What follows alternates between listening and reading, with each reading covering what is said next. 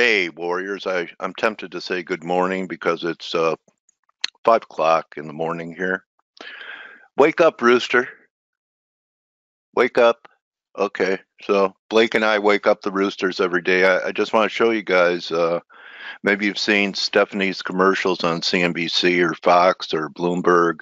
She's our guest today, and I'm very interested in what she does because she looks into uh, sees big transactions in dark pools, which are something that you know uh, big traders, institutions can do a trade in a dark pool that they don't have to report for 24 hours. And that kind of gives them an edge for people trying to front run them and also gives people an edge that can notice things like that. And any of us that are technicians know the maxim volume precedes price. So uh, should be a great interview. Uh, I believe it'll be edifying for you. Let's get to the markets. So uh, Ethereum crypto under a little bit of pressure. So, you know, you still have to give the dollar the benefit of the doubt. Uh, we have a demarcation line all the way down here after the Fed. Dollar's going to have to take that out to change the picture. We keep getting, you know, a spike and then nothing. It kind of reminds me of crypto, actually. You know, nothing goes on, and then you get a big candle. You know, you get a big candle, and it meant nothing. So I, I still think you have to give the dollar benefit of the doubt, which means lower euro.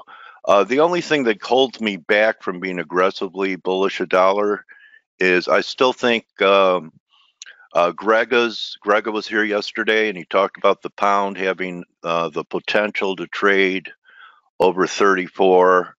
Uh, that's a pretty good candle. So I'm thinking one, two, three up towards 34 or so. Uh, then I'd be more comfortable, even though the pound doesn't have uh, as heavy a weighting as the euro. I'd rather wait for cable to complete up there, and then i would probably short them both. So, uh, waiting for that, we're getting a huge rebound in U.S. dollar yen. So, uh, you know, a lot of the targets were pretty good. At, you know, 109.60 didn't quite get there. Uh, I guess the question is, is this a major bottom in the end? And uh, I don't think so because uh, I really don't think this is a major bottom in S&Ps. Although I, someone I respect says we have to get one more high in the Dow. So is the Dow outperforming? Yeah, for the Dow to take that out.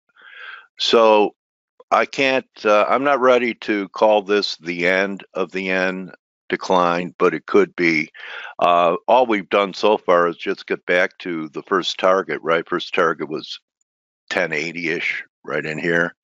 So 1080, I think, is an important area for the yen. I guess if we close back above that, uh, you have to say that the correction in the yen ended. Until then, I still give it another shot for making a new low uh, based upon a couple things. Uh, look at this RSI reading down here. Everyone see it? Anyone know what type of low that is? You could answer it in the question box. It's kind of what I have been talking about here in FACE for a few years now. Uh, RSI renamed. Real simple. There you go, Stephen Marshall. Okay. You win uh, a free membership to the YMCA. One more high in the ES, Ben? Lower than September. Okay, but higher than what we just had. Uh, I respect Ben. I, I respect Ben's uh, views. Uh, Ben's been a guest and uh, does a lot of great work. You know, just shows you uh, what we have here in Face. And I know I brought it up. Ben likes to participate, but you know, there are a lot of people that uh, come here that are great traders in their own right, and a lot of them, and maybe even Ben will consider it because Ben, you'd be, you know, a great addition to our um, community here. So we have, uh, I think you have your own service, but you know, there are people that have services that are in there too. But you know, being part of our members chat for you to share some ideas. Anyway, just something for you to consider. Um, I really think that anyone who hasn't yet, I know that's why people come in about five, ten minutes later. They don't want to hear the sales pitch. but I'll tell you, it's not a sales pitch. Uh, you know, I don't uh, represent anything I don't have conviction in or I wouldn't do myself and tell other people to do what I wouldn't do. And, uh, you know, I, I know you guys have heard me say it before, but just hanging out through osmosis and paying attention to Blake and Steve and Stelios and Grega yesterday and Andre's stuff and seeing what Amanda and Joe are doing has helped me become better. So, you know, uh, don't give up because, you know, it only took me 40 years to finally get the hang of it. I hope it uh, only takes you guys four so, you know, that's the answer I get for most people I interview. And I ask them, how long did it take you to have a breakthrough, and epiphany, and start becoming more consistent in the market? And that's my average answer. So, if you're a year or two into it, you know, uh, just like you have to be patient with yourself, uh, the market, you have to be patient with yourself and just put in the time and persevere. And why should it be any easier than getting a Bachelor of Arts or Science degree at a university to be able to master or at least become proficient in this. Who agrees with me? Hi, Russell. Thank you for the share. Russell still likes uh, USD for the next couple days.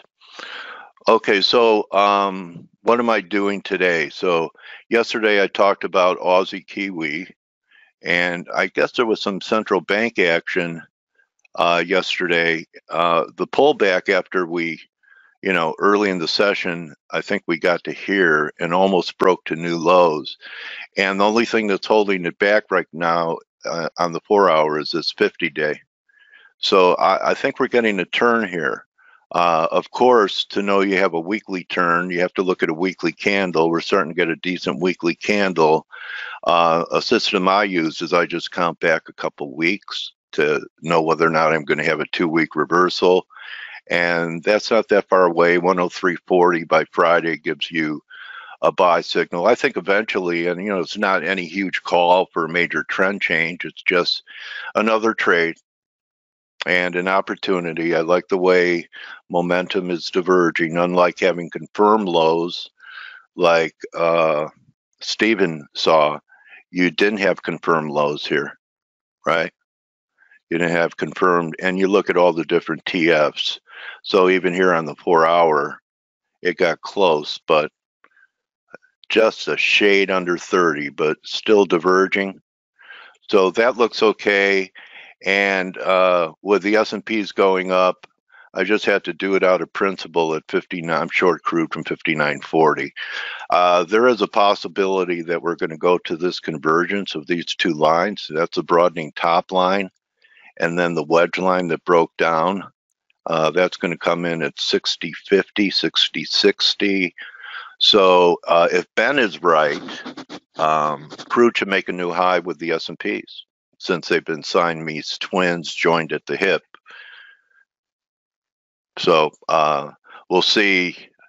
We'll see. I did it kind of out of principle because after this break of the wedge line, um, Saturday I was talking about, you know, looking to short it at 59 and a half. So it's here.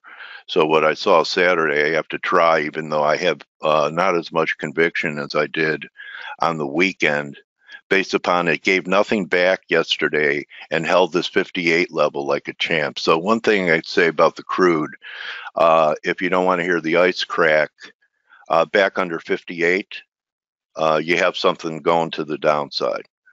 But again, if we're going to get another blow off in the market, and I was actually surprised, uh, we were sharply lower yesterday after the vindication of President Trump by Mueller and watching all the media try and scramble uh, to justify the narrative they had. It's really uh, kind of a uh, uh, interesting situation. So we'll see what happens here with uh, the crude. I'll even look at a short term. See, uh, we're not even diverging much on the five. So with that being said, turn, I'll turn it over to Blake. And really, guys, also uh, don't forget our sponsor. Okay, don't forget our sponsor at Forest Park FX right here. You could click and get rebates or reimbursed and pay for your subscription. They could set it up if you're overseas and give Trent and Justin a call. I think it's a good idea for everyone to have more than one account at more than one broker so you know what kind of racehorse you have and if you're getting the best service possible. So it doesn't help you be right in the market, but you know things like costs and everything else they do matter. And if you're not getting a rebate, uh, why not look into it? Nothing wrong with cash flow from what you're doing anyway. So how you doing today, buddy?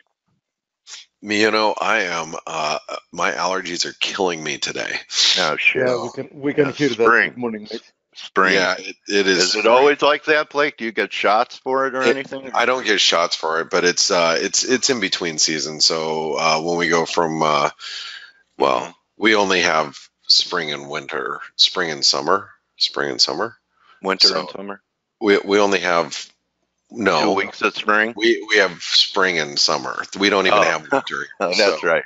All right. Yeah, it's it, it, but when I we go but when we go back from you know uh, summer to spring and spring to summer it's uh, the allergies kill me no You know there is a therapy. There is a therapy for that. You know that. uh, oh yeah i you know i don't even bother it's like i don't need to inject my body with a bunch of junk but uh anyway it's like It's a nasal thing. It's natural. I say I see him advertise it. And that's uh, is that what you're talking about, Steve? Where there's like that liquid that goes, you breathe it in, and it Uh, flushes is, your um, sinuses. I have a f- I have a few friends that um, have done it. There is, there is a therapy that you know you they take samples, they see what allergies you have, and then they prepare Oh. some kind of a um, thing for you, and you know you get like you know s- s- rather soon, and suddenly you get immunity to whatever is um, reacting with your body.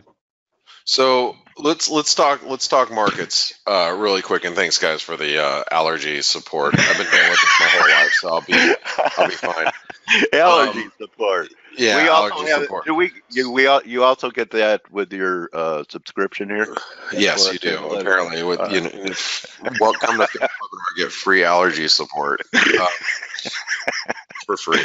All right, so uh, the you know I was you know I was just looking here at the S and P. And uh, let, let's let's not forget a couple of things as we're looking at it. Uh, first and foremost, we had you know last week this failed breakout attempt. Okay, above this uh, you know 2850. All right, so failed breakout attempt let, let us lower. Uh, now we are back at um, 2820, which the 2820 is just a big big area. I mean, it, it all is. So I, my assumption is we're gonna we're gonna probably retest like this 50% retracement, and then from there quite possibly turn lower because because we had this false breakout up here. Um, that leads me to believe that we are eventually moving lower. But you know, currently we're grinding as we make our way up there. So um, my assumption is we're going to do something like this. You know, something like you know maybe even like a pennant type of formation, something that looks like this, and we have you know eventually roll over something like this. I'm just you know I'm just kind of loosely drawing that for you guys, but um, but that's that's kind of how I see the market currently, and uh, and and what we're what we're dealing with, and we might push up towards you know 28 and a quarter, maybe 28 30, um, but you know stocks are continuing to you know press higher at this moment. Uh, now the euro, man, I took this off a little too early. I sold it at uh, 113.18, and um, and it and wow, look at the euro pounds really rolling over. The cable's ripping uh, right now. The euro pound is uh, is moving lower, so you got the pound pushing higher out of this triangle. The euro is just kind of struggling here, and then you've got the euro pound that's just taken an absolute uh, dookie as we've uh, broken this little you know minor trend line here. So the euro pound is is is breaking under some pressure currently. So uh, keep an eye on that. Uh, you know, uh, a couple of guys we were we were just chatting in the chat room like an hour hour and a half ago, and uh, when I got up, the pound was kind of spiking higher, and uh, one of our traders, Julius, is like, well, you know, it, you know, pretty much you know people are coming to the conclusion that um, that that you have uh, Brexit approaching, but no one really wants a hard Brexit. I mean that I mean that's bottom line. No one wants a hard Brexit, and and that's something that uh, you know Stelios has been saying here for for for God, so long, and and you know I have to agree that no one wants a hard Brexit. So as the market comes to the realization that there's going to be some sort of, uh, you know, Parliament's not going to allow it. Uh, they're going to have to figure out something. Um, that the cable is getting a little bit of a lift. Now, does does that constitute until we get confirmation that there's not going to be a hard Brexit? Does that constitute the pound, you know, rallying to you know 136 right now? No, probably not. But you know, the pound has this bid underneath it, and that's something that we have to, you know, keep in mind that that the cable has this continuous bid. Uh, we are coming out of a little minor triangle here, and uh, that could take us back to 133, you know, 20, 133.50. Uh, I think you have to be a little careful if you're trying to short the cable. If you want to play dollar strength, play it somewhere else. You know, not not against the the pound at the moment at least that would be my thought process. That's one of the reasons why I shorted the euro, and I I took a I took a few pips out of the euro, and I should have obviously stuck around a little longer. But um, the euro, uh, you know, also one of the reasons why I'm, I shorted it is real simple. We did have a false breakout last week. Keep keep that in mind. This this this little square that you see here weighs heavily on my decision making, meaning that uh, you know I I, I want to short euros on rallies. I, I, actually had an overnight order to sell the euro on a rally to to uh, to the 60s. Uh, that didn't get tripped. Obviously, I was hoping that we'd get some sort of spike down in the uh, dollar that allowed the euro to spike up here, so I could sell into. But that that you know just didn't come to fruition. Um, now. Uh, uh, I, I, let's just talk about the Aussie really quick. So the Aussie's still in this like you know wedge.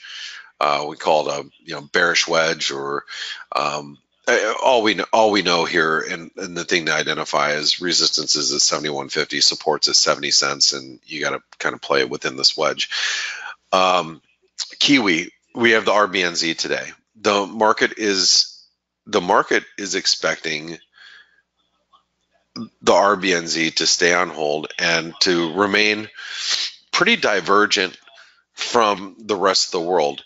So everything that I'm reading, most banks are expecting the RBNZ to be, um, you know, just basically st- steady as she goes. All right, which will be viewed as hawkish, considering the rest of the world is is uh, is you know starting to look at you know global um, a global slowdown.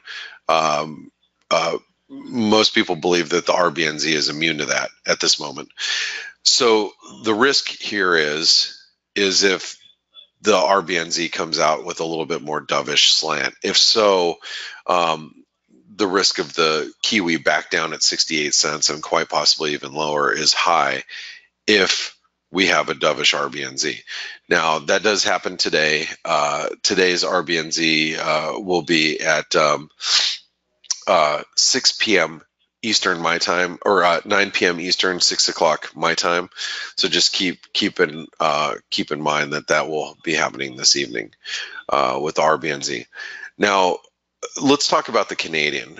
The Canadian is held up very well. Amanda was in the chat room saying how well the Canadian is holding up, and I, I have to admit, and and I did actually buy some dollar Canadian this morning.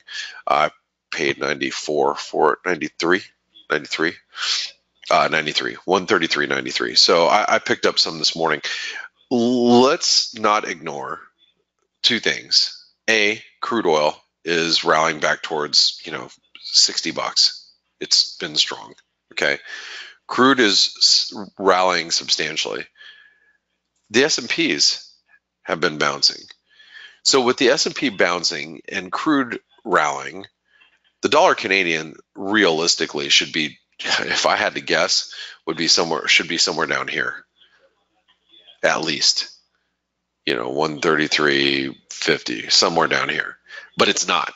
That's a fact. So considering the dollar Canadian is holding up so well in the face of a strong S&P, a strong crude oil rally, I wouldn't want to be short the dollar Canadian um, right now because typically when you have a rally in risk, when you have a rally in risk or you have a rally in uh, crude, you're going to have a stronger Canadian dollar, weaker US dollar. That is not the case at the moment. So the risk is starting to mount that a break above, you know, this resistance 133.50, uh, we are going to complete this uh, this inverted head and shoulder pattern, which takes us about right there. I mean, if you look at the the, the measured move. Um, the measured move takes us to a near 136. So I would not, and I'm going to state this again, I would not want to be short the dollar Canadian right now. We get any any sniff of risk aversion uh, if the S&P does what I think it's going to do and turn back over today.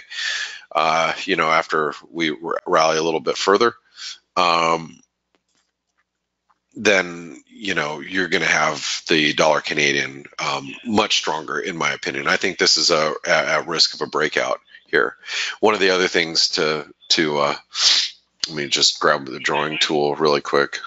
Sorry guys, my if if you're just tuning in, my allergies are really bothering me right now. So just um, this would be a little. Eh, it's not too visible. Hold on, let me erase that. Let me grab a better pen. Uh, let's go like that. This looks like a, you know, like could quite possibly be a, a cup and handle formation developing in the uh, in the dollar Canadian too. That's why a, a break above here is going to be pretty bullish in my in my view. Uh, I'm not saying it's going to do it right now or today, but I think the risks are starting to mount that way. Uh, let's take a look at the dollar Mexican peso. Uh, this is a very similar situation to the dollar Canadian. I picked up the dollar Mexican peso this morning at 19. Um, just, you know, I'm barely profitable at this moment, but it's a very similar situation um, that you have stocks that are stronger, crude that is stronger, and the dollar Mexican peso has been just barely pulling back.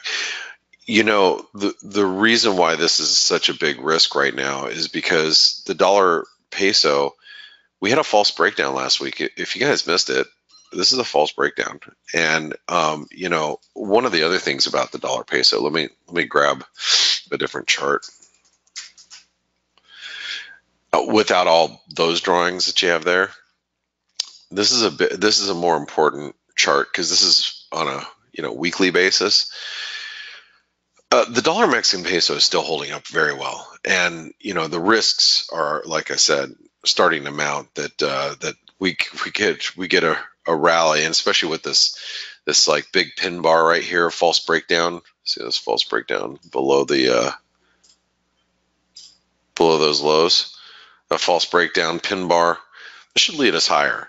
So I'm I've been trying to play the dollar Mexican peso on the long side the last couple of days. I think that you know we'd have to see a move now above like you know 19 probably 1912 1913 somewhere around here. You know move above that would be pretty bullish. Okay? Uh, and and and again all you need is a turn lower in in risk appetite and uh, and and maybe crude oil to to pull back a little bit, and you know the dollar Canadian could or uh, dollar Mexican peso could really stage a stage a rally here. Um, U.S. dollar Norwegian krona, uh, you know, nothing really happening there. Uh, U.S. dollar Swedish krona, not a whole lot happening there. Uh, dollar yen.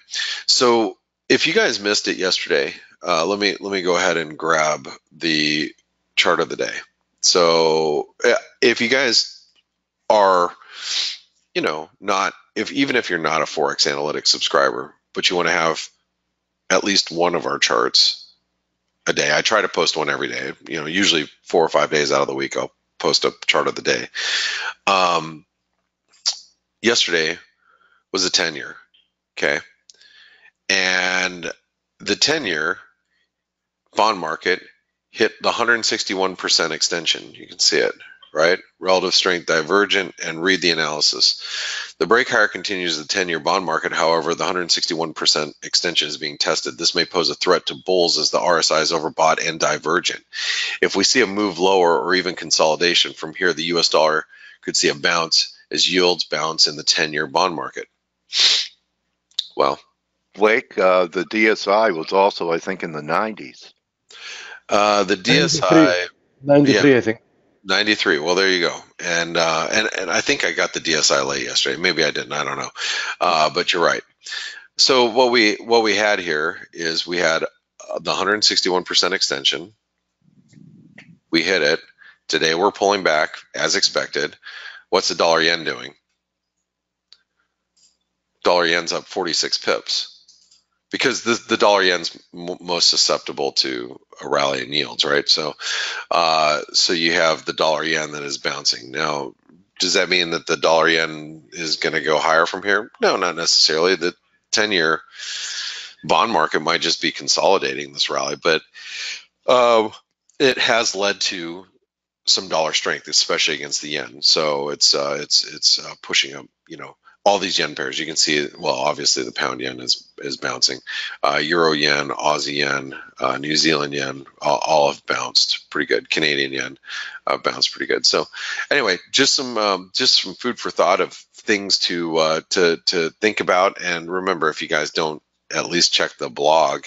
Uh, for the chart of the day, you should. I mean, between myself and the rest of the team, we probably post about 60, 70 charts and analysis throughout the course of the 24 hour period. Uh, and if you can't get those 60, 70 charts, at least you can get one of them on the chart of the day. But the better choice is spend a dollar, try out ForexAnalytix for 10 days, and then download the app too. All right, guys. Well, uh, Steve, how you doing this morning? I'm good, mate. How have you been? Uh, other than allergies. Besides, besides the allergies, yeah, I'm doing all right. Uh, I'm I'm alive. Okay. I'm, I'm I'm not pushing up. That's a good thing. So, um, no, all's good. All is good. Um, but uh, I'm going to pass it over to you guys, and hopefully, uh, there's uh, hopefully you had a nice trip. Uh, I know you had a vacation. Uh, or uh, a, a, small a mini vacation, but a, a holiday is what I meant to say. Yes, yes, absolutely, yes, indeed. Oh, good. Well, um, I nice nice to have you back, and uh, nice to be back.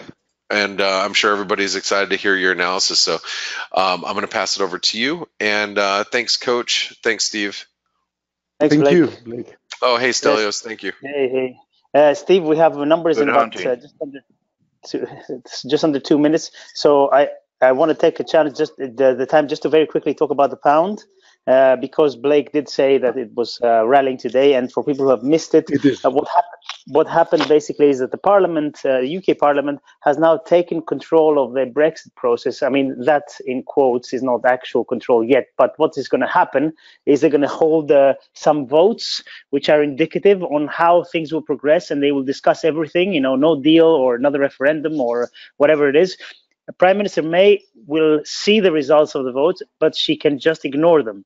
But still, this is something, you know, we're only a few days away uh, from the extended uh, Brexit date. So I, I, you know, my opinion is that she's going to take these results very seriously. There have also been some uh, rumors that she might offer to resign if certain things are um, um, uh, if if things move forward in a certain way, which I guess will mean you know, will mean if she gets a deal, you know, her deal passing, uh, then she might resign. But anyway, that's what's been happening. So the the mem- members of Parliament in the UK have some power now to show what they want to do. Uh, uh, Jacob Rees-Mogg, uh, one of the most influential conservatives, is now behind Theresa May, and he did say that uh, apparently now the only two options are either a no Brexit or May's deal, which uh, sent the pound a little bit higher. Uh, so another development on the Brexit. I think I feel we should have like a theme tune when we talk about Brexit. You know, but anyway. You know, uh, Del, maybe you could tell me uh, that last name, uh, Rees-Mogg. I remember, and it's not easy for me to remember 30 years ago, but the I believe uh, the same last name wrote a book called Blood on the Streets. Uh, he was a lord I think he was Lord Rees-Mogg or something like that. I don't remember that. Same guy or son or that, that goes that goes nice nicely with the tune Stelio suggested. Especially if he if he's a lord. Perhaps we can get something from Star Wars or whatever.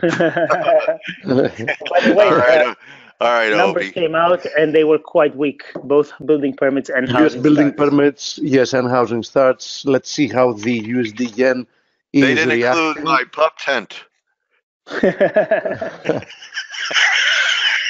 so far, no real uh, housing has been uh, weak Oh yeah, for you know a decent period of time now. try Actually, buy a house in San Diego, buddy. one of the tickers I'm actually uh, um, tracking Oh. is this one. It's the home See? builders. See, I was right about that guy, Rees-Mogg. See, we have a very smart community. If I don't, right, if, it's William Rees-Mogg, who is Jacob's father and was editor of the Times. uh, Catherine Yeah. says, okay. instant. yeah. See, well done, well done. Blood Dave. in the streets, investment Yeah. profits in a world gone mad. William Rees-Mogg. Okay, imagine uh, profits in a world gone mad. Imagine what he would have written if he was yeah, alive. now, yeah. Oh my God.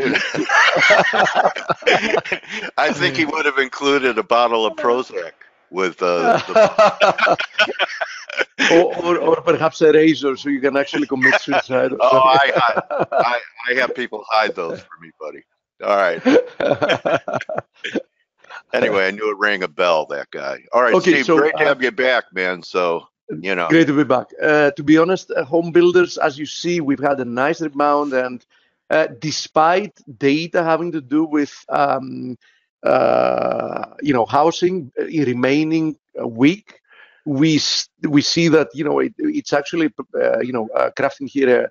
Um, a bull flag just above the confluence of the 50 and the 200 DMA. So I wouldn't be surprised if I saw another push higher from the home builders before we get uh, more weakness because I do think that the data are uh, quite ominous. I mean, a lot of the things we're seeing, we have to go back in 2007. Uh, and obviously, whenever you have to uh, draw analogies with 2007, you know, that's not a good sign, right? um, okay, so, uh, Stelio, uh, anything else um, from a macro perspective uh, besides the um, developments we had with um, uh, the pound? Not really. We're just expecting the RBNZ later today, but uh, nothing Yes, else. happening later today. Correct. Yeah. Yes. Speaking speaking of the RBNZ, we can we can actually start from there and then uh, have a look at the rest of them. Uh, Blake had, has already shown that we have a uh, some kind of a triangle here. I Stell, do any, think that- excuse me, Steve. Stell, uh, any Absolutely. expectations from uh, New Zealand Central Bank?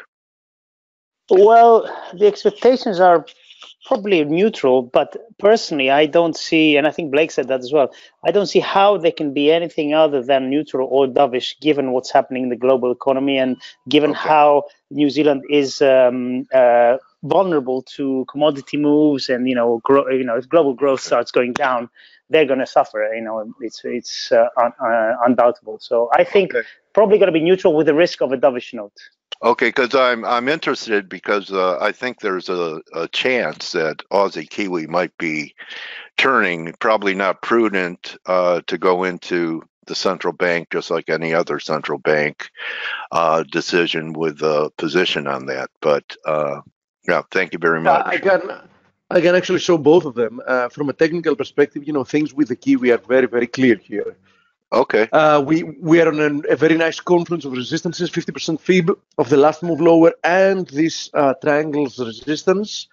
Um, you know, from a technical perspective, uh, it feels like there is one more leg higher that's missing. So I have to say that I would like to see a break higher and a move towards, you know, the 61.8 at 70.50, even a little bit higher at the 78.6 at 72.20.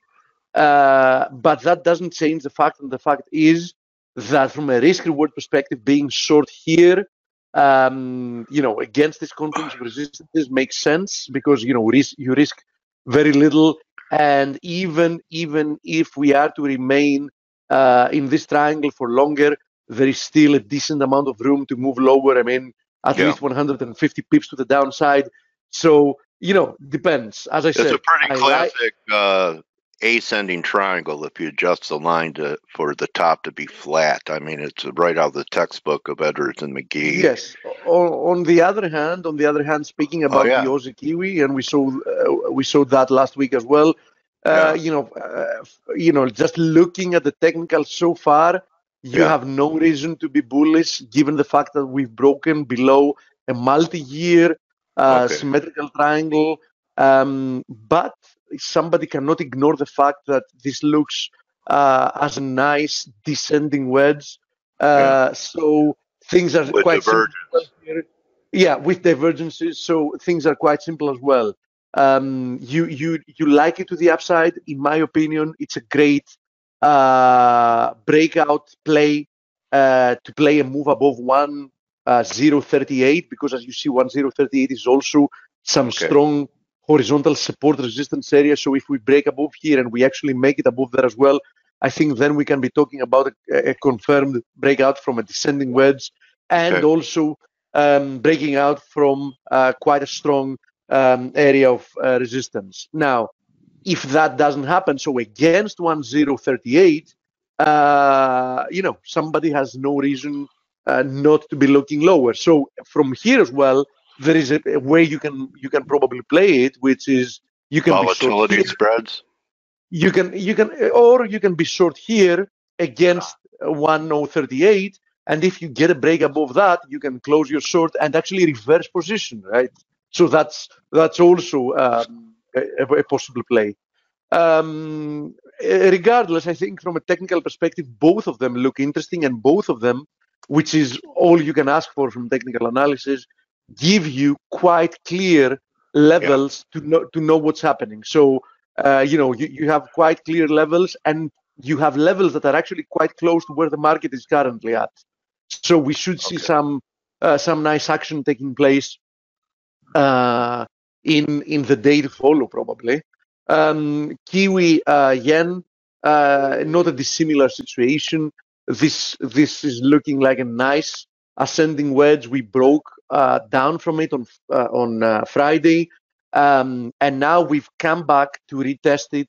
So obviously, what happens uh, tonight is going to determine if uh, the wedge interpretation was the correct one, um, or uh, you know, there's something else at play. In any case, uh, we we had a nice confluence of supports at 75, 25. So far, it's holding. So I would have to say that uh, if you're looking uh, to be short a break below 75 25 is going to be quite a strong signal that uh, we're going to have um, you know some bearish price price action unfolding on the other hand obviously if we break ab- above this uh, recent high we should see a continuation higher and perhaps then we can be talking about a different type of interpretation one leg higher some kind of a horizontal consolidation and another leg higher um, I, I still like it more to the downside from a technical perspective, this Kiwi yen, which of course, you know, doesn't bode well with, uh, you know, uh, Kiwi against the USD looking in my eyes a little bit better for a move higher. Uh, but as I said, there are, you know, there are technical levels uh, that are quite clear. And, you know, either you like it short or you like it long. At least you know immediately when you're right and when you're wrong. Uh, or you can even wait uh, for the initial reaction and you know take it from there because uh, you know the market from a technical perspective gives you the ability to uh, maneuver um, any way you like so i, I will be uh, monitoring today's uh, rbnz quite closely i'm, I'm actually not um, unlikely to to take a position because there are some of the kiwi pairs that i i quite like speaking of that um, i wanted to show euro aussie uh, because on the four hour chart, I was doing the key levels before. I have to say that, as you see here, on the four hour chart, we have a nice ascending channel. I said on Friday, if I remember right, that this price action looks corrective to me. Uh, so, um, you know, we have to acknowledge here that there is an attempt for the pair to break lower. Uh, so I do think that Euro uh, is uh, probably an interesting opportunity to the downside. Now uh, we can also have a look at the Euro Kiwi. All those are four-hour charts, by the way. Euro Kiwi uh, has already broken below the previous lows here. I remember I said on Friday that you know we might get like a, a triple uh, bottom, but usually triple bottoms are rare formations, so I wouldn't be really counting on that. Um, so this breakdown from that level, as you see, we actually came up, we retested it, and so far we're getting rejected, is quite a bearish signal. So EuroKiwi uh, would benefit from a technical perspective. It would look good if we saw some some Kiwi strength uh, to see another leg lower after retesting this broken support as uh, resistance. Now let's also have a look at the pound Aussie and the pound uh, Kiwi. Pound Aussie remains within this ascending channel, but clearly, uh, you know, the price action here is uh, simply consolidation. Now, what kind of a consolidation is a little bit erratical? I think the best, the best interpretation that I can visually see, which is not a, you know, a very popular pattern, is a diamond. Diamond patterns can both be continuation or reversal patterns. Um, especially when they work as reversals, they, they're actually quite strong. So pay attention to this because very rare, they, very rare yeah, formation, yeah, Steve. Nice. Yeah. So be careful here because a break below this channel, more or less, is going to be a break below this um, uh, diamond formation. And if this is a diamond top in combination with having a breakdown from this channel. As you see, RSI has been diverging on the four-hour chart since uh, actually the end of February. So it's a, it's a quite a prolonged uh, RSI divergence here. You know what, so, buddy? You're you're as brilliant as a diamond. People should put on their shades. People need to put on their shades when you're breaking things down here, man. Thank you, George. All right, man. I know you're blushing. I, I, never, I never stop to be amazed by your ability to to be anyway, poetic. everyone, everyone have their uh, sunglasses on while Steve's breaking the markets down. Okay, no, that that is really uh, what a great uh, mentoring. Uh, most people don't even know about diamond formation, Steve. Very nice. Yeah, and as I said, diamond formations, keep in mind, they can be, I mean, according to most uh, technical books, they can be both continuation and reversal patterns. Of course, somebody can easily say, uh, okay, then, you know, why do I care? I mean, if it can be both, you know, why do I care? Simply because, you know, if you, if you get a break out of a diamond formation, one side or another, there is a very high probability that you're going to have continuation. So, yes, it's not enough now to give you direction, but as I said, especially now that it, you know, more or less confluences with this channel, I think that the breakdown from this diamond formation is going to be a very, very nice reversal um, signal. So probably quite a nice trade. Um, probably quite a nice trade. Of course, that would either require the pound to break down uh, or uh, the Aussie to, you know, to produce some strength, or obviously uh, a combination of the two, right? Because combination of the two will will make it even more powerful. Um, now, uh, what's going to happen with uh, with uh, Great Britain? I have no idea. with the UK, I mean, this whole situation is an unbearable mess. I mean, I, I, it annoys me that we have to pay attention every single day to what politicians are doing there, and they don't even know what they're doing. But uh, you know, we have to, you know, go along with it. Uh, but as I said, I, I think you know, if you get a nice technical a very clean technical uh, formation in any of the pound pairs. I don't think you should let uh, the Brexit situation um, keep you away from trading it, uh, because you know, from my experience, very often nice technical patterns uh, end up uh, playing out quite quite beautifully, even when there is event risk coming along. Now, I don't know why and how exactly that is happening, but you know, from uh, from simply uh, being, um, you know, uh, being actively monitoring the market for years. you know, that's that's what I um, that's what I usually see. Now, having to do with the dollar, I have to say that the situation with the dollar is quite complex because we've spent quite a lot of time more or less doing nothing. Um, we even had a false breakdown from this ascending channel, which is probably quite a bullish signal Um, you can even see here a, uh, you know, not so beautiful inverted head and shoulders formation. So I have to say that the path of least resistance, I, I insist on the fact that the path of least resistance remains higher for the dollar. I'm definitely not a dollar bull in the long term, but you know, I see absolutely nothing that would make me bearish in the short to medium term. So I don't want to go against the technicals and what the market tells me. And the market tells me that there's still, you know, strength uh, in the dollar, and I do think we have to uh, respect that potential, which means that another leg higher towards 97.20 uh, as a next move is probably much likelier than uh, the alternative. Now, uh, you already mentioned coach, and you know these are two of the pairs I wanted to show. Um, uh, crude held once again, and I, I like to, to see it on a daily chart because on the daily chart you can see the importance of this horizontal support resistance area. Uh, crude held once again this horizontal support uh, zone. So as long as that's the case, you know you have no reason to be bearish, despite, of course, uh, momentum uh, having slowed down and everything else, uh, still you have to respect the potential for more upside. I wouldn't be buying it up here. There's absolutely no question about it. I mean, it's already run uh, its course at a big extent, um, but I won't be selling it yet. I want to see a break below 57.50, and then I'm going to be a seller of crude.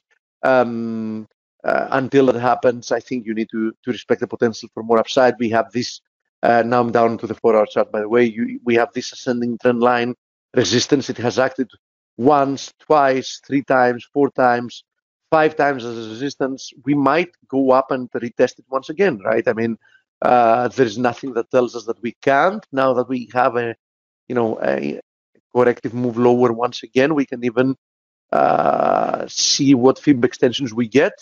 So, for example, nice confluence of resistances at 60, 70 the 127% extension and this ascending trend line resistance. So why not? I mean, we can retest 60 and we can even make it to 60, 70 as the next area of resistance. Now, um, of course, uh, you know, that should keep a bid uh, to the correlated currencies. But having said that, uh, and Blake mentioned it about the uh, CAD, but I want to mention it once again about the NOK it should be very, very worrying to uh, people that are selling the USD NOK, the fact that such a huge technical level as the 840 level, I, I was talking about that since since we were moving uh, lower, since we, we were in the middle of this last leg lower, 840 is a key level. You can see why, because 840 is another retest of this broken uh, large formation that we have here. Uh, also horizontal uh, support resistance area, also the 200 daily moving average. And, you know, we had a huge reaction from there. And the short-term price action looks corrective to me. You can even see here the potential of an inverted head and shoulder playing out. You can see it here. Uh, shoulder, head, shoulder with a neckline, inclined, something like this.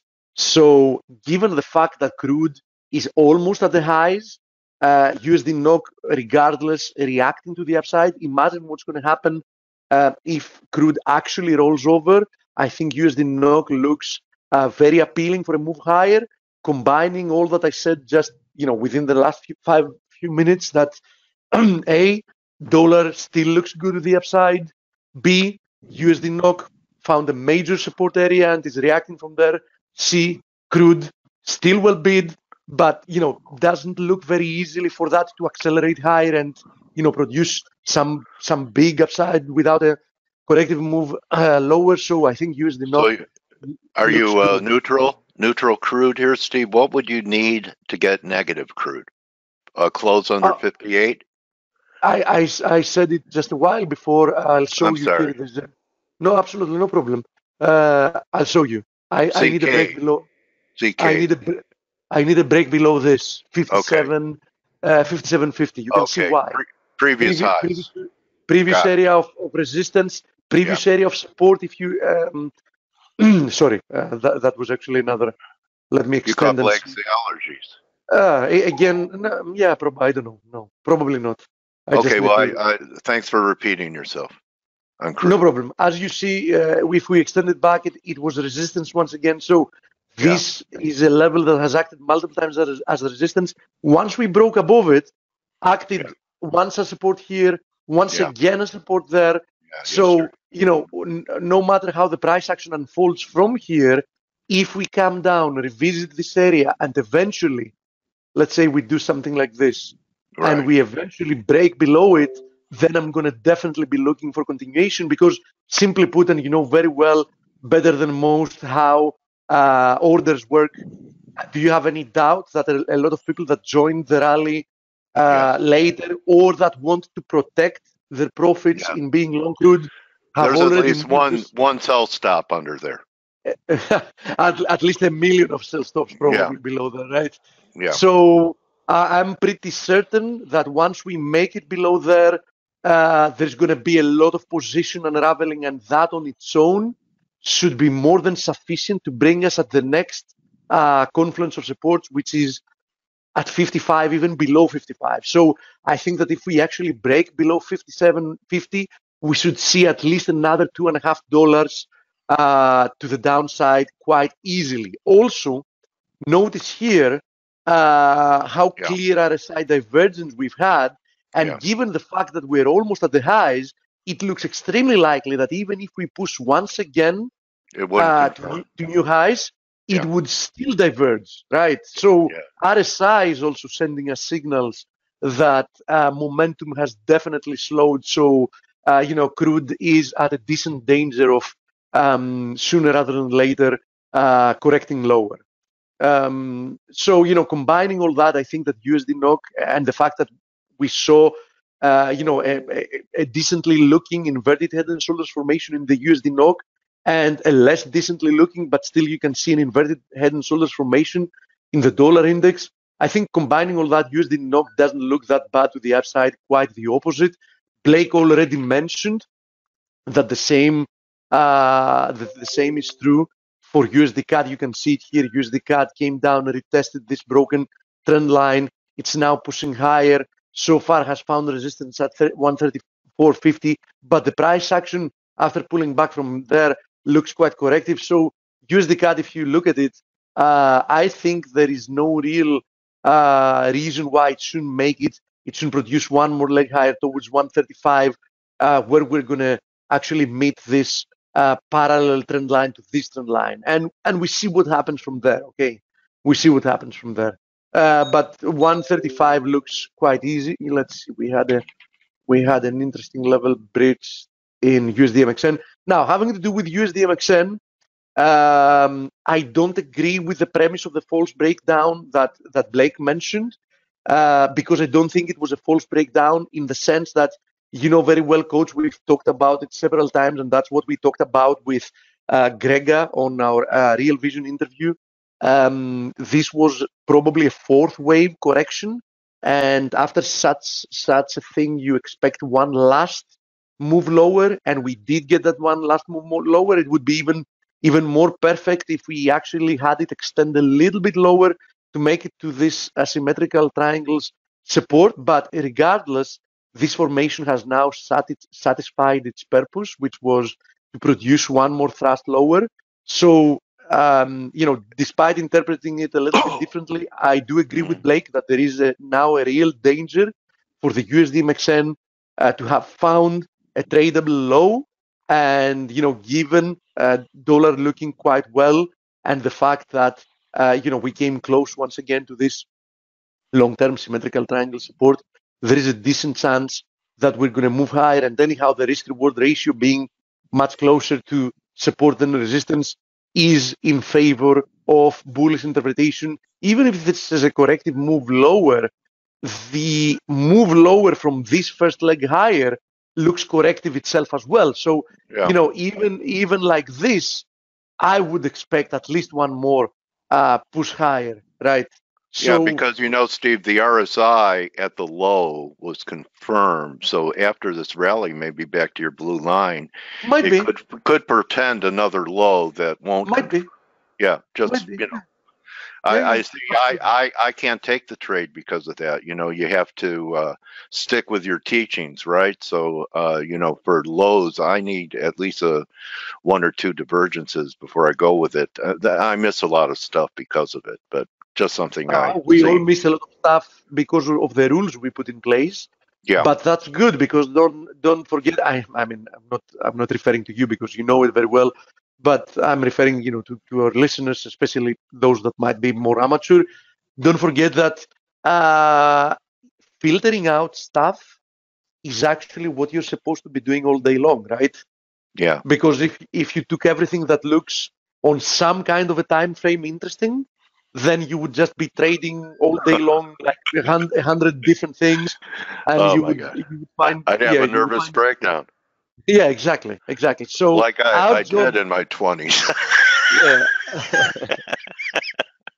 right. our, our job is to filter out things right and also part of this process is not to worry when you realize that you filter out, filtered out you eventually filtered out some ideas that ended up playing out quite nicely i mean you shouldn't ponder over trades that might have looked interesting but you actually never got into taking uh, Yeah. you should you know focus on what is next right? What comes next that looks good and you might uh, want to take. That that's what i think. And you know this requires training but you know training that comes through experience. So you know in my um, opinion just you know keep doing what you're doing just keep trading um, learn from your mistakes and if you end up surviving the first year in the markets then time is working uh, to your benefit Yep. And remember, the cream always rises to the top.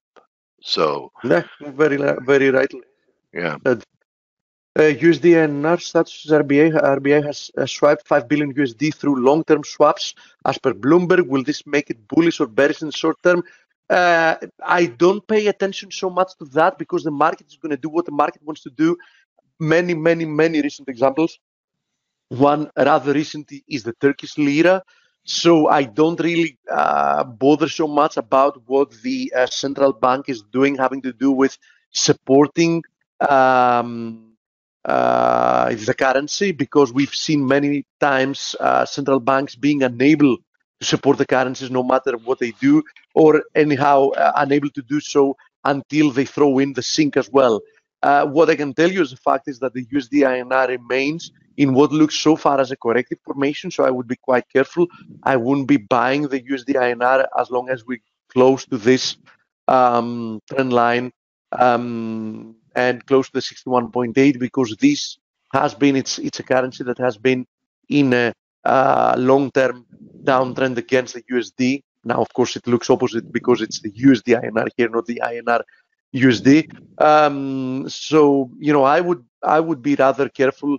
Uh, INR still looks uh, quite vulnerable, in my opinion. USD INR still looks decent to the upside despite this pullback. I don't really see any impulsive characteristic to this move. Uh, so um, you know, it is what it is. Um, we had a friend here writing that the euro is taking a nosedive. Let's have a look at it. Yeah, it is. If you look at it in the shorter term, um, uh, you know, on the daily, it still doesn't look like anything big. But I have to admit that I need to favor the downside for the two reasons that Blake mentioned. First of all, we had this double confluence of resistances, rejecting price action, especially uh, given the fact that we had an intraday false breakout. And second of all, just look at the price action in general. I mean, there is nothing bullish with that. Um, so, you know, revisiting this uh, confluence of supports at 111, 80 something, or even moving lower towards this uh, horizontal, um, sorry, this uh, descending trend line um, support, which now comes roughly at 110.80, seems quite likely. So, if I had to do something with the Euro USD, it would definitely be uh, being short uh, instead of being uh, long. Um, so yeah, nothing surprising there. What do you think about gold here? Okay, thank you for reminding me. As you know, I am short gold. Um, I've actually de-risked it now because I took a little bit of a profit, and I have to say that gold so far looks beautiful uh, because it's it's reacting uh, to this uh, it's the third time, uh, it's the third day within the last four trading days that it has been reacting from this confluence of resistances here. So as long as we keep getting rejected from this area at around 1320, I still like it to the downside. Um, so I do think it's likely that gold is going to roll over from here and produce at least one more leg lower. The same thing applies with uh, silver. I mean, there is there is some and nice. How, how about copper after this, Steve? Uh, did it negate all your bullish things uh, by going back down to 285? I did close my position with 1.3% of a loss, and I have closed my position in um, in USDMXN t- taking more than 2% profit. So both those positions are now over Okay. for me. Okay. Uh, the reason I did so is because we violated this horizontal breakout area. On Yeah. the other hand, uh, it's still it's holding. holding right. Yeah, that 285 area looks important to me. Yes, yes, it does. Uh, although I really don't like two things here. One of them is that false intraday break higher that we had from Yeah. this uh, flag, which ended up uh, from from a bullish, from a very bullish candle that it was looking like we might have. It ended up being a shooting star um, candlestick, and then the next day we Right. had very strong continuation. We had a long Right. black candle It was no bull flag. It- We it looked like a bull flag, and it evolved into something else. And i let me just say one thing, Steve. If copper's bad, and I pulled the weekly up a week or so ago, if we're turning bad here, we're going to take out that double bottom, and that does not portend uh, real good things for the global economy. Oh, absolutely, absolutely. no, it's it, it, it, it's definitely not good. I have to say though that uh, uh, taking a stab at short at a short in platinum, uh, in palladium, sorry, uh, starts looking like a decent uh, Oh, yeah. opportunity here. If I go down to a four-hour chart, you can see that we had quite an impulsive move lower, and perhaps we're going to get something like this Yeah. to at least retest this ascending channel, uh, or we might get uh, something like a little triangle, something something like this. How are So I- fills at palladium? I know it's pretty thinly traded. Are they okay? They're decent. Yeah, they're Okay. decent. They're decent. All right. I, I don't have any complaints. You know, uh, I I'm not judging from the perspective of a scalper because I'm not Right. one. So perhaps not so ideal if you're looking to scalp it. But you know, if I go in, I'm going to be looking for a move of let's say three, four, five percent. So right. you know, if you're looking like for that kind of a move, now What's the the difference? yeah, I mean, you know, who cares? I mean, if Yeah. I'm looking to like two percent move, now making that move because of the spread two point zero five, or making the potential profit like you know, from like let's say three or four percent, like three point ninety five. You know, it's it's like uh, collecting uh, pennies in front of the roller coaster, right? I, I don't Yeah. really care about it. Let me I just mean, check and see if uh, I- uh, our I'm so indifferent. I'm so indifferent to execution that just to give you an idea, the only platform that I use to execute is my mo- my mobile phone's application because I'm really indifferent to execution. You know. Stephanie, are you here? Stephanie Kammerman, uh, maybe registered under a different name. If you are, can you please type something in the question box for me? Go ahead, Steve. Oh yeah, she is there. What name are yeah, you yeah. I can, I, registered? I, I can. I, I saw her. Don't worry about it. Oh, I'm, I'm promoting her. Because I spelled your name wrong, Steph. Okay. Yeah, yeah. I promoted. I promoted her. She, There here go. she is. Okay. There we go. Oh, hi, Stephanie. How are you? Hi, Okay, they- Dale. I Oh. leave you to your interview. Enjoy. Okay, okay thanks, Steve. Uh, yeah, I, I spelled it with a PH. So uh, great to have you here. You can share your screen if you'd like. Okay, hold on a second. Show my screen. Let me There just. you go. It's Uh, up showing the wrong one though. Hold there. on a Okay. minute. Okay. Um, Below, uh, below the show screen button, there is a little arrow. If you press it, you can change the screen uh, that you're sharing. The, Oh. you, you will get a pop-up with all your available screens, and you can change it. oh, there we. Oh. Yep, that's it. Perfect. So Stephanie, I you know I I've seen all the promotions for your new book all over television. I, I, I thought maybe it was the same person, but you know, after I w- went to your website and took a look at a few things, uh, I realized uh, that it was the same person. Well, really a pleasure to meet you, and uh, you know, I, you're. I, I'm interested uh, in your work because you know all technicians believe uh, volume precedes price. What I'm really interested in is uh, your journey to getting to where you are because I know uh, I would I'm a betting man, a speculator, that you didn't start looking at dark pools when you started. So can you tell us a little bit about uh, your journey and how you got involved in the industry and business? Well, how much you want to put on that bet, Dale? Okay, uh, uh, one one tip. It, it'll be like it'll be like trading places, and we'll do a Duke brother bet. One dollar that uh, you knew about dark pools at the beginning of your career. Yes, I actually did. It's crazy. Oh wow! I, 24 bet. years old. oh my goodness! So, I uh, who introduced you to that uh, at the start of your career? Were you just trading on your own? And No, nope. Okay. I, I actually went to college for psychology.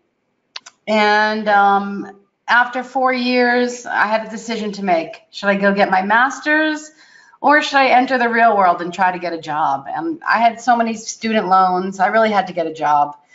So I, I got a job. Actually, I got really lucky. I went to happy hour with my girlfriend, and that's really how I landed a job. It's crazy. Uh, I, I knew nothing about trading. My best friend, Dahlia, uh, got a job as a receptionist at Schonfeld Securities, which is the largest prop firm in New York, especially at the time in 1994. okay, And she got invited to happy hour with all the million, the guys that make millions of dollars. And she didn't want to be the only female. So, you know, she calls me up and she's like, hey, Steph, you want to come to happy hour? I was like, well, like, not really. Well, these guys are coming, you know, they make millions of dollars. They're really cool. You're going to really love them. And I was like, well, maybe, maybe I'll go. All right. You twisted my arm. Um, and so I went and I just started talking. They were the nicest guys. You would never think in a million years, you know, that these Yeah. guys made all this money. And so one of them said, Hey, I need an assistant. I, I made a million dollars this year, but I must have left a hundred thousand dollars on the table because I just couldn't keep track of uh, my size positions. You know, at the end of the day, realize, oh, I'm still short, you know, a thousand shares of Microsoft, or I'm still long. And um, I said, well, I need a job. And he said, can you start Monday? And I said, yeah, I can start Monday. And they sat me in front on Monday of an Instinet machine. That was my first experience in trading was, and that's a dark pool right. system. That is how I learned how to trade by seeing the dark pool. I, I don't think it gets better than that. Wow, you, you know what? Uh, how much could I use the Yiddish word "tsuris"? People Yes. go through um, before they, you know, uh, are led in the right direction, and how much capital they burn through. Uh, with the charlatans out there promising that they have the secret, and uh, uh, Right. you were very, you know, you had an angel looking out for you that day, and what a great happy hour. And Yeah. let me let, let me ask you this: uh, Did they remind you kind of like of the star in Billions Axe? Yes, uh, I. I went to high school with him. First of Wow. all, Okay. the guy I- that he portrays, it, it's a based Oh, on. Oh, I didn't even know that because I know the Yeah. actor is English and he comes uh, in with a, you know, kind of an East Coast. Uh, Steve know, Cohen. yeah. Yeah. Okay. Story's loosely based on that, which is there must be something in the water of where I Yeah. grew up, uh, Long Island. So yeah. All right. Well, what a great story. And uh, so, you know, another uh, another point that sometimes it's not what you know, it's who you know. And uh, you definitely uh, broke the ice with professionals. So tell us what you learned about dark pools then. And I'm sure that over the years, you've had some type of uh, refined it for the people that you teach and for your own trading and for your rooms. Uh, Mhm. Tell us about the evolution about how you. First of all, let's let's start with some people have heard the word. Um, what are dark pools? I know the advantage is that people don't have to report the trade for 24 days. So it's kind of like the guys on the floor when I was at the Merc would do their big positions upstairs and then walk on the floor. So no one really knew until they went into open outcry what they were doing. So tell us about uh, dark pools. Yeah, sure. It's just an alternative exchange where the big guys do all their trades. I mean, these are the guys that are moving the market. I don't listen to the news. I have it on mute all day. Uh, I'm an old fashioned tape reader. Okay. And what's amazing is so back then in the 90s, you had to belong to a very big, powerful firm to get access to the dark pool. The Instinet machine was very, very expensive. And again, I was very lucky to get that job sitting in front of it and doing all the orders for my entire table. Now it's available for everybody. All right, let me ask you, Steph, was that the same thing as people that called themselves SOES bandits? Yes, SOES Bandit. Bandit. Yeah, Okay. small order execution system. You can see my screen right now. The software I'm using, DAS Trader Pro. Okay. This is very similar to what I started on, uh, being an, an old-fashioned SOES bandit, they called us. Um, Okay. And it was, it's great. One click. It was very easy to buy and sell. Although I did start out, I had a clerk at the other side of the table who was doing all our orders. But we You could also, yeah, and now it's so easy. I, Yeah. I mean, you just open up a, a trading account these days and you can just start trading, right? And I think that's why a lot of people lose money in the market because they have no idea what they're doing. They haven't been trained by successful people. Um, they just open an account and start trading. But the good news is we have access to the dark pool. It's free. I don't I don't sell it. I just teach people how to trade using it. Um, but the INET, the NASDAQ book viewer, you can see this book right here Yeah. uh, on the SPY. Yeah, Instinet, uh, NASDAQ took over Instinet. So you, I use two books, the INET and the ARCA book. And that pretty much shows me where all the big guys are hiding on various stocks. Uh, let me just see if I can find Goldman Sachs. I look and see where Goldman Sachs is hiding. Uh, he's not on here. Uh, but I go down through stocks. How do you know the firm? It'll say GSCO. Okay. Yeah, ori- yeah, originally, you know, all we used to do was follow Goldman Sachs. That was our big secret. If he had a huge offer, we weren't going to buy the stock. If he had a huge bid, we would buy the stock. You just follow him. He got smart. He started hiding his orders in Island, which was the first ECN book. He hid his orders on the Instinet, the, the dark pool exchange. Um, he hid his orders in all these books. He became anonymous. And now we don't even have any market makers on the level two. I mean, it's all books. Everybody's anonymous. Nobody really has to make a market anymore. That's the scary part. That's why Is we have let me ask, let me ask you that. Is that because of decimalization or the fact that the floors are now bowling alleys and there just isn't as uh, hardly any human beings involved? I, you know, I don't know the exact reason why, but it's scary because if the market starts to turn down, these Yeah. guys just disappear. There's there's no liquidity. You know, that's why we have a flash crash. Right. Um, so So the market structure, uh, it's easy to open an account, but if there's ever uh, a time where you need someone to make a market, they're not there anymore, and that's what people are talking about when they talk about fragility of market structure. Correct? Exactly, exactly. Very, very fragile. Um, and so, you know, you got to be very careful. Um, you ha- you have to really know what you're doing. You know, just most people out there have have no clue. Um, they're guessing, they're hoping, they're not really watching the tape. They're not seeing where the big guys are buying, where they're selling. You know, over the past um, see six years, I've called 13 out of 13 market corrections before they've happened. I'm 13 for 13. And so people think I'm psychic and all these things. And I just follow a dark pool pattern, which is really not difficult. Um, once you know what it looks like, anybody can do it. You getting any messages uh, now for yes. either? yes. okay. That's what I'm going to show you is recently we've had very heavy dark pool prints, and this is this yellow sticky pad on my desktop for you with the Okay. levels. Yeah, we've had really heavy prints, and it's been a while since uh, December 26th. We had late dark pool. I call them buy prints. These are trades that were done yesterday and not reported until today, and they get a, they get around that by crossing their trade from their London desk with their New York desk. And when they do that, they don't have to report these trades. And we see we see them every day, but they're not very heavy. But once they start to get really heavy, that's when we have a very big move in the market. And recently in March, you see I put the dates down here, Yeah. these late trades on the SPY started coming in. The biggest one is 278.54. So let me just pull up my SPY chart. I put a, a notification out that's, that's yesterday. selling. That's selling that you're I don't know there? yet. Again, I, Oh, I see. I'm not going to guess. okay. However, I will go very short if we close below 278.54 on the SPY. Okay. We went there yesterday, but we did not close below it. You know, there's a lot of noise during the day. We have to close weak below it. I'd actually prefer a close below 278.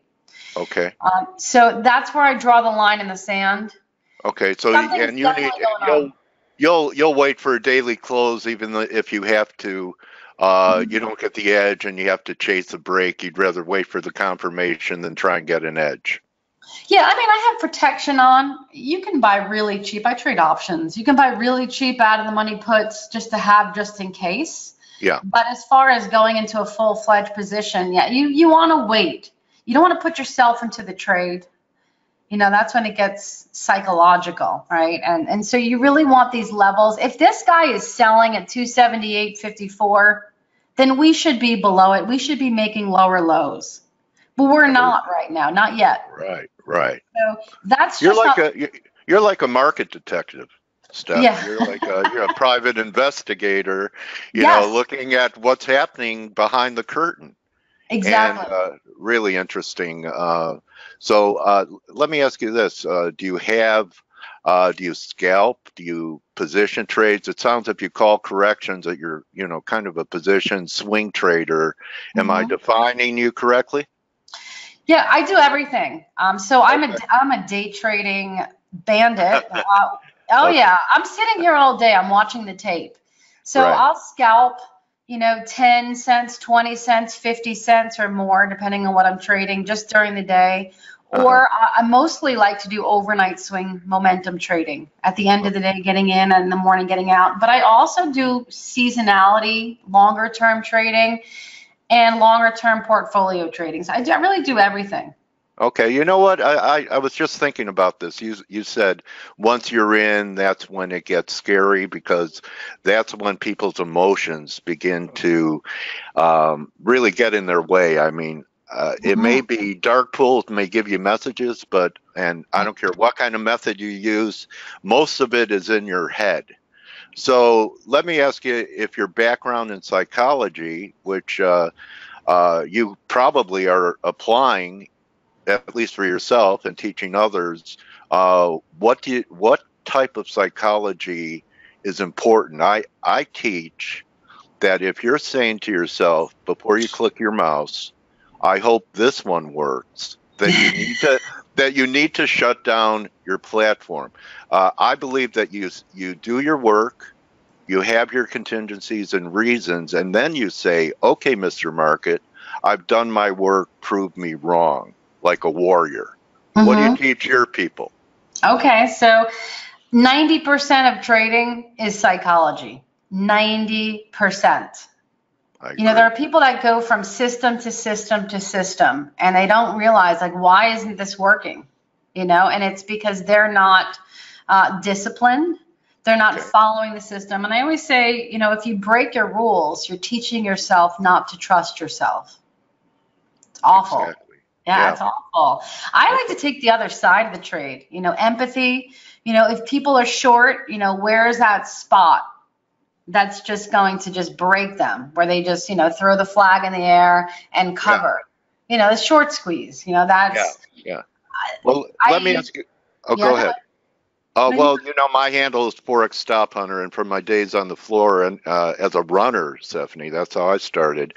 I noticed how brokers were very interested Mm. if the order had STP at the end of it.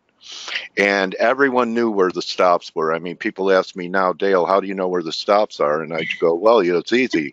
Uh, if you were short, where would you put your buy stop? That's where everyone's is. So, um, do Yeah. you uh, do you look for those situations like floor traders used to, where you know where there's liquidity on buy and sell stops and trade into them, and then use that liquidity to either cover or reverse or take the other side? Only if there's a print. So I'm never going to go against the trend unless I see the dark pool selling. We see them every time. That's my number one rule. Don't try to peg the top. Don't try to peg the bottom. But don't trade in the middle of the day either. You know, that's when we always Why? say, yeah, the big guys go out for lunch. We call them the Armanis, right? The suits go out for lunch and they leave like, they leave the minions, right, in charge. Right. And the, the job of the minions is to stop everybody out that they can. So they whip it up, whip it down, whip it up, whip it down, stop. It's like the Armanis come back and they're like, yeah, we stopped out 1,000 people, you know? Let me ask you: You ever you ever go to lunch with these guys? Because I have just one story I have to tell that is hilarious. when I was a runner, I worked at the Merc, and you know Chicago in the wintertime it's pretty cold, right? Like it is in New York, and um, th- like you know we'd go out for breakfast. So anyway, uh, these guys would have you know five figure equity swings and we could have just gone down to Union Station and not braved the cold and had breakfast. But instead, we'd walk three and a half, four blocks in zero degrees to Lou Mitchell's because they had a breakfast special. Because uh, and then when the check came, we needed a CPA to divide the check. So the you know they were having forty, fifty thousand dollars swings before they went for breakfast. Yeah. But it's real money Mm. when you're buying a meal. Ever? can you believe that? It's a true story. I'm not making it up. So Well, anyway, I don't leave my desk. Yeah, I, I eat lunch at my desk because that's when the dark pool shows their Okay. hand. Because these guys are out for lunch yeah. and we see the biggest prints that move the market during lunch. So I don't leave ever. What are the exact hours? Like uh, one Yeah, o'clock 11 Eastern. o'clock Eastern. Okay. Yeah. Okay. They start coming in, and I know because I usually get my lunch, right? I run, I work from home, I have a home office. Uh, I run, get my lunch, bring it back here, and I'm trying to eat, and they're just coming in the prints left and right, left and right. And so I, I have a dark pool app, and I'm always sending like, you know, notifications on these big prints, and I map out the trades, and I, I can't even eat my lunch. It's that heavy during lunch. And these are the trades you want to pay attention to, not the ones that are market on close. Those big orders you see at the end of the day have no bias. It's just the trades right in the middle. They don't think anybody's watching. And, you know, we see insider trading. I've seen trades on um, fear before the Brussels terrorist attack. Massive trades on TVIX. Have you heard of TVIX? TVIX? Yes, I bel- I lost a fortune in it. Don't Oh yeah, don't trade that. It it. just No, you could trade it. Well, you Oh. could trade it, but don't hold it. No, but that's the problem. You know, Yeah. people trade it, it works out great, and then they trade it again, and it it closes below, but you don't get out, and the next day it just dumps. I know. Oh, you must have read my you must have read my book. I'm yeah. Uh, anyway, Steph, uh, you teach people, right? You're mentoring people, and I do. I run a live trading room. I Okay. trade live and Do you- teach people. do you have people start off with uh, demo accounts or uh, teach them? You know, I have a song, use less leverage. Um, for someone starting off, uh, what do you recommend they do before they go live?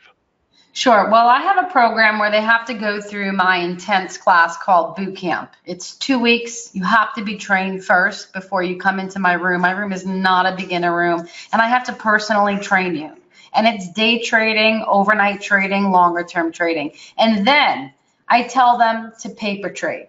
Okay. Okay, Make sure you have the system down and you're doing everything right. Now there is money and emotions that comes into play when you're trading with real money. So once you switch over, small. Start with, you know, one or two contracts if you're doing options. If, Yeah. I always say if you can make money on two contracts, you can make money on 10, you can make money on 15, 20, but there does become a point where you feel uncomfortable. You know, your share size, and it doesn't matter how much money you have. It's Mhm. just that spot where you just don't trade properly and then you move down to where you were before that. And that's usually your perfect spot.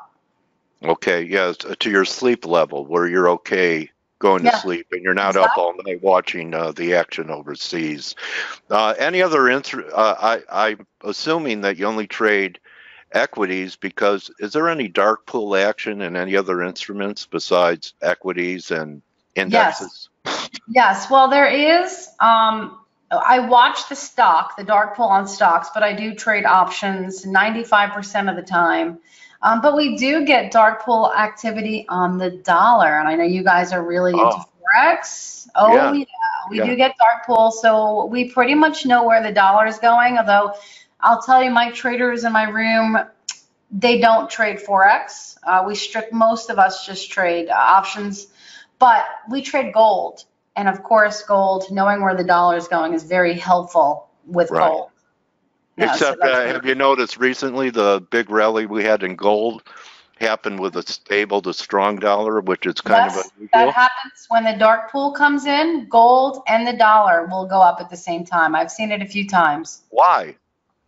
What are they doing? So strong because it's when there's real, okay, so there's two reasons why people buy gold. There's the reason that the dollar's, you know, going down, so safe A dollar hedge. Yeah. Right, dollar hedge.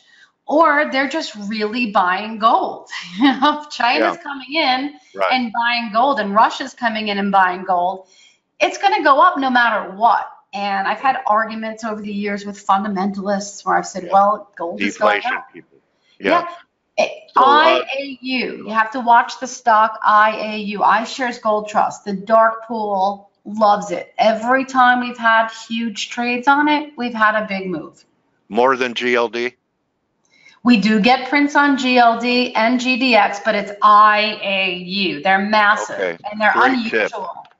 Great You tip. know? I'm right. I'm writing it down because Yeah, I've all old timers. I don't trade it though. It's slow. Okay. I, I like GDX. I've been trading that for the past uh, couple months. Okay, so you uh, you actually instead of trading the gold contract, you trade GDX using Yeah. IAU as your tell. Yeah, but All I right, uh, agree. I agree with uh, the guy you just had on, Stylianos. Said that 1320 level. Yeah. Um, and that's yeah, that's really really key right now. I'm watching that as well. Okay, well, you know, I really enjoyed meeting you, Stephanie, and like it or not, you're now my trading warrior sister. Oh, So, uh, wel- welcome to my trading warrior family, and you know, this would be a good time for you to show your website. Uh, Oh, I don't want to do that. you don't No, want to do that? come- I didn't come here to sell anything. I just came Okay. to, to Wow. meet you. Yeah, Okay. to meet you, talk to you. I mean, you can get my book, you know, Dark Pool Secrets. It's it's on CNBC. You ever, you ever go skinny dipping in your dark pool? It's I'm not telling. Why do you think my webcam's not on today? That's all I gotta say. Definitely. Thank, you so much. And uh, people could follow you on Twitter at Volume Print Cess, not Princess. That was Larry Berman. Yeah, he Yeah. did that.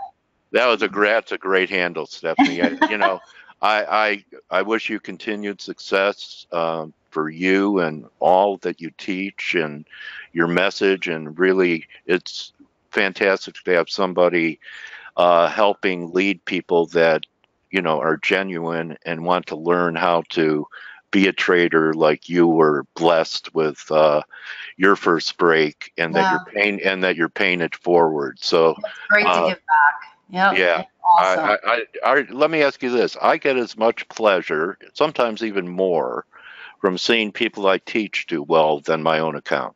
oh yeah, they do better than me. Yeah, you found that out too, that the students become the I teachers? love it. Oh, I've had guys Oh. over the years, yeah, make a lot more money. And you know what? It's awesome. That's Yeah. that's priceless. Seriously, Yeah. I've, I've done very well. I'm not complaining, but it is priceless when you see one of your students Yeah, really take it to the next level. yeah, I, I'm with you.